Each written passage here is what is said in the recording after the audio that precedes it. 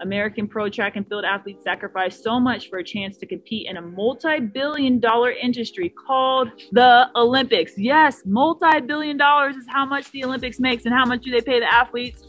I write a whole chapter on it. so, which actually, uh, so a multi billion dollar industry called the Olympic Games, which actually does very little to supplement the athletes in their preparation and pays nothing to those who compete in the games. I know a lot of Olympians and Olympic hopefuls who rack up forty to sixty thousand dollars in credit card debt because it's that's about how much it takes to properly train for the Olympics. Give me a moment to get on my soapbox. Most Olympians are ridiculously poor. This is primarily true around the world, but my focus is on the American athletes and the U.S. Olympic and Paralympic committees. According to a 2012 income service, survey survey cited by Forbes, half of the athletes ranked in the top 10 of their events in the US earn less than $15,000 annually from all sources of income. $15,000 per year for all sources of income. So um, I really just dive deep into that because uh, it's very heartfelt, especially now I'm seeing a lot of athletes struggle more and more. The prize money has gone down significantly in track and field. Athletes are really, really struggling. And it's hard to see because when the Olympics airs, you're going to see those commercials play. You're going to see, um, you know, the attention on all these incred- incredible athletes. Well, they don't have any rights to those commercials or they don't even have rights their, to their own image. Um, so I just think that the IOC, the International Olympic Committee, should do a better job of revenue revenue sharing from the games to, to hand down to the athletes. The athletes that compete at the Olympics, they don't they don't get paid a dime.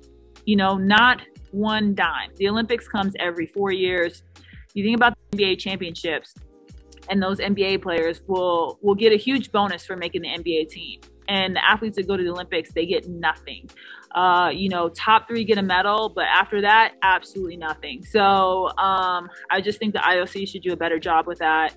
And I hope that my book puts pressure on them. I hope that after people read it, they would be encouraged to speak up.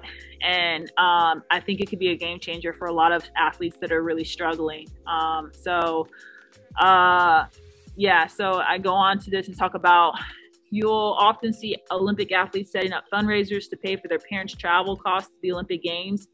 Even though the Olympics is a multi billion dollar industry, the athletes struggle to pay electric bills, work at minimum wage jobs, and set up GoFundMe pages just so their parents can go to the Games. Meanwhile, the International Olympic Committee, the IOC, which calls its presidents and executives volunteers, gives cash handouts, not salaries, in the realm of $250,000 annual allowance and $900 per diems, respectively. My friend Peter Carlisle, who manages Olympic swimmer Michael Phelps and is the managing director of the Olympic Action Sports Division at Octagon, helped me compile some data to highlight the financial disparity athletes face. So we just really went in and um, if you love the Olympics, you love Olympic athletes, or if you like stats, I think you'll really love this chapter.